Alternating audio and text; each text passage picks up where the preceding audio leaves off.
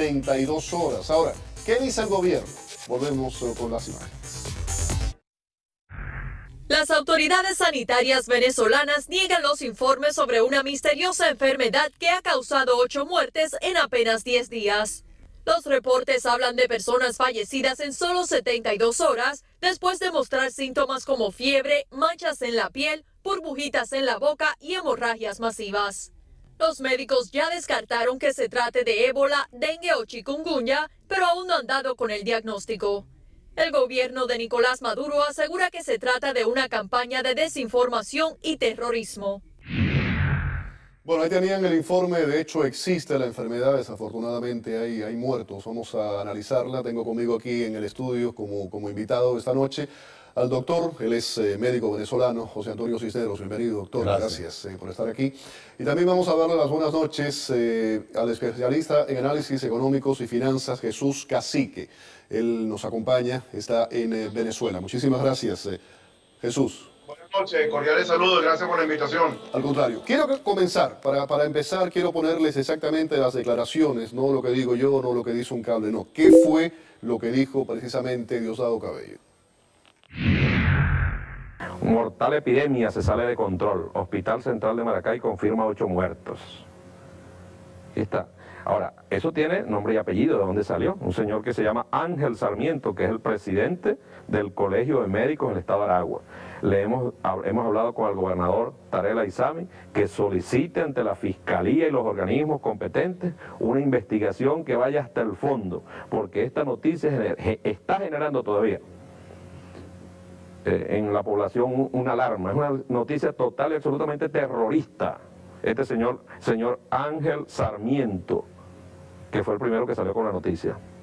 Bueno, una investigación profunda, los responsables, la mano de la justicia va a llegar. Doctor Sarmiento pasó eh, de médico a terrorista, y eso lo acaba de decir el, señor Cabello, algo realmente alarmante, ¿no? que además una personalidad política en un país se dedique a acusar en televisión nacional a una persona eh, de esa forma.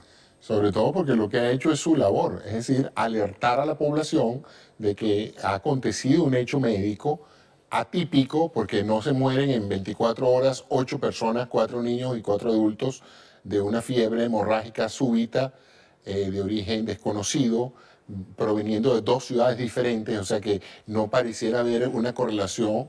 Y lo que él hizo es lo que cualquier médico debería hacer, llamar la atención del público en relación a un hecho que está pasando y que puede tener consecuencias, mm, digamos, graves para la población si no se está alerta.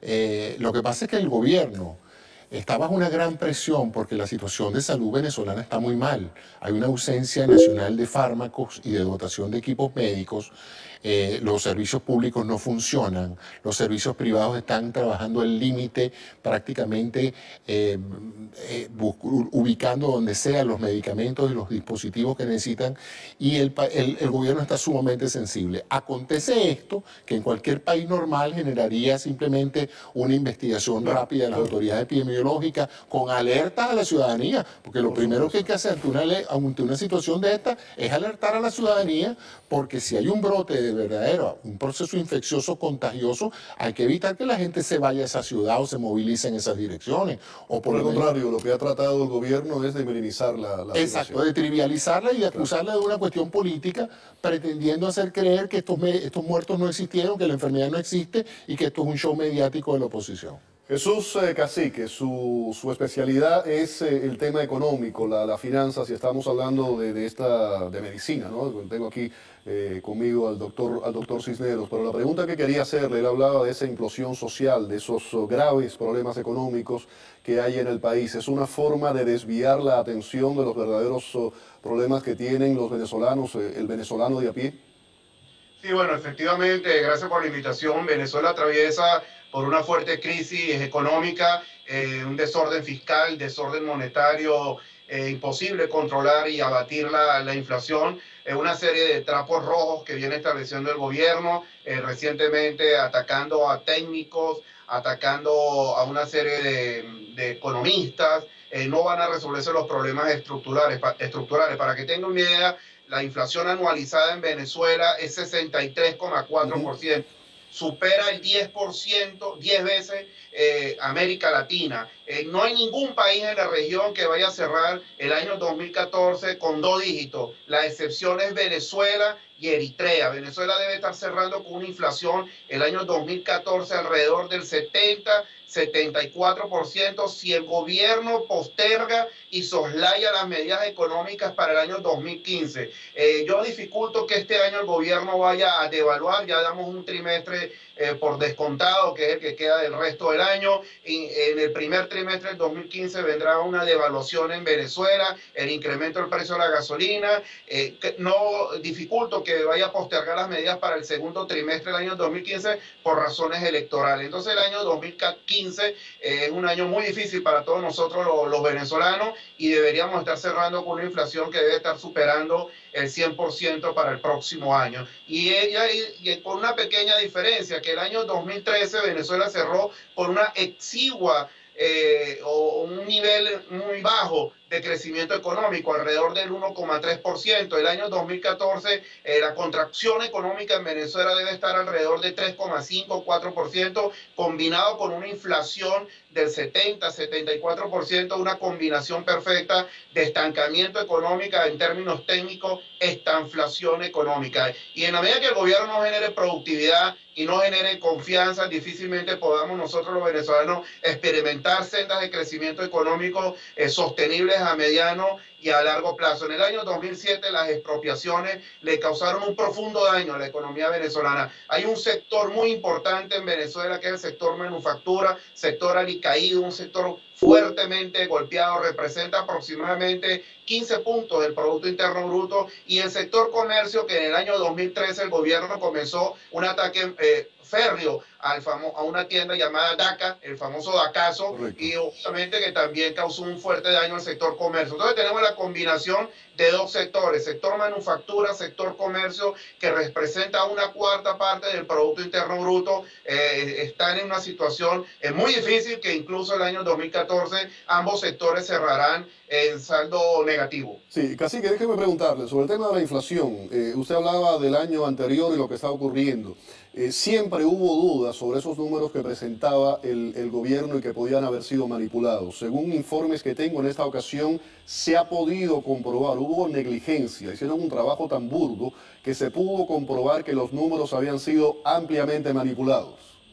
Sí, efectivamente, el informe eh, primero que, bueno, eh, no había ocurrido en Venezuela que el Banco Central de Venezuela difundiera la inflación de forma trimestral. Esto es primera vez que ocurre en Venezuela. Difundió la cifra de junio, julio y agosto, eh, con el problema o con una pequeña diferencia que la nota de prensa eh, no tenía ningún tipo de correlación con las estadísticas del Banco Central de Venezuela. Hubo un error o en la nota de prensa o en las estadísticas. El Banco Central reportó la inflación del mes de junio en 4.4% y las estadísticas indicaban 5.5%. Entonces lo que hizo el Banco Central fue que corrigió las estadísticas, pero no corrigió la nota de prensa. Pero una diferencia de un punto o dos puntos, la diatriba está en que Venezuela va a cerrar, como le acabo de indicar, con la mayor inflación del mundo back to back. El año 2013 56.2%, este año 70, 75, 75%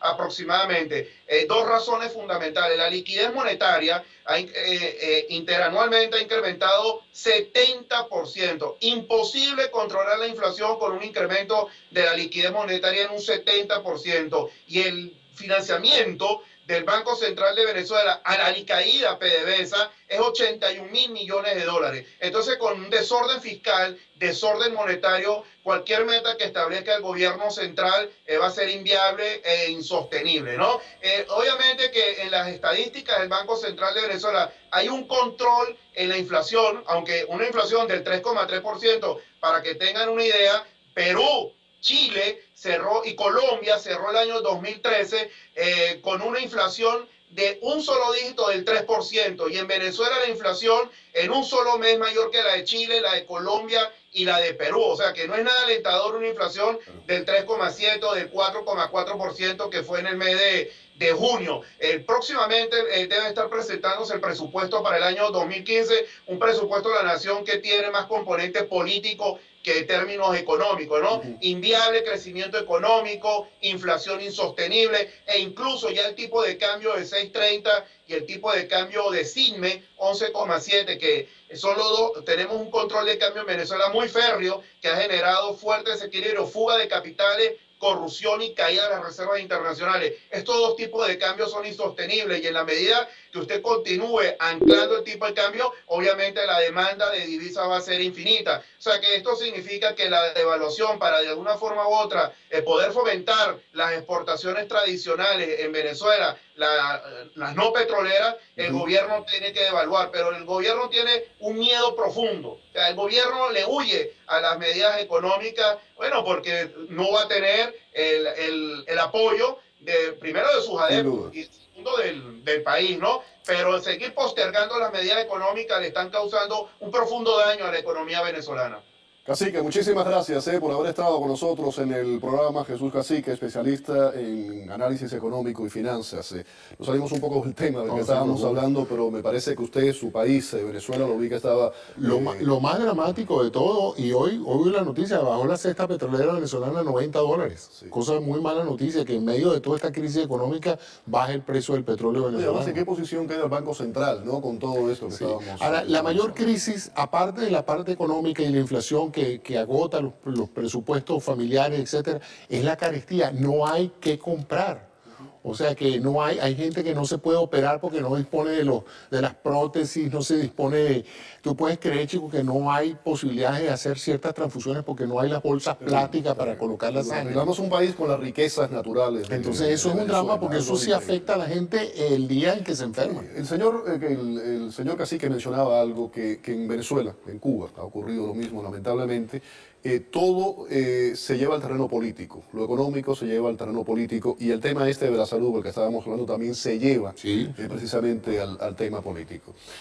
vamos a, ponerles a ustedes ahí en, pantalla pues síntomas, más detalles sobre esa enfermedad de la que estábamos hablando. ¿Hay un nombre específico? Estamos hablando no hay, todavía se está manejando lo que se llama un, síndrome, un, diagnóstico sindromático de un síndrome febril hemorrágico. Es decir, Malestar general, fiebre, manchas en, la piel. Y empiezas a sangrar por un consumo de, de, la cascada de, coagulación y empiezas a tener esas manchas rojizas que son microhemorragias cutáneas, pero por supuesto también está pasando las hemorragias internas. Es un proceso muy grave, muy agudo que coloca al paciente en horas en shock, en estado de shock y, que no, no, se puede tratar. Bueno, se está tratando masivamente con antibióticos de amplio espectro, pero obviamente todavía no se ha precisado desde el punto de vista de diagnóstico preciso el agente causante de este cuadro infeccioso.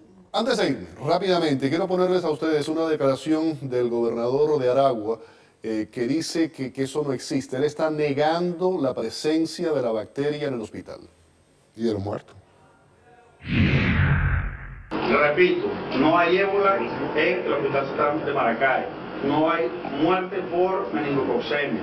Las otras causas que hay son causas que en ningún momento tienen un común denominador. Eso es lo que le debería interesar a, eh, a los medios, lo que la gente debe estar clara. No hay muertes que tengan un común denominador. Y mucho menos, y mucho menos, por situaciones generadas en el propio hospital, es decir, que exista alguna bacteria o alguna contaminación que le haya generado la muerte de alguna persona. Eso es absolutamente falso. No eso era no el gobernador, sino el secretario de Salud de Aragua que hacía esas declaraciones y a ese señor le está creciendo la nariz como a Pinocho. Bueno, si eso fuese así, serían muy buenas noticias. Por supuesto. Pero de todos modos, la alarma ocurrió, los muertos están allí, el proceso fue crítico. La, la, labor del gobierno no es alertar, prevenir. Claro. No se hace de esa Que después se descubra que no es un proceso infeccioso, que fue otro agente, que el hospital no está contaminado. Todo eso es posible, pero la alerta había que hacerla. Le agradezco, doctor, el que haya estado aquí con nosotros en el, en el programa. ¿eh? Muchísimas gracias. Vamos a la pausa. Al regreso, jamás se propone.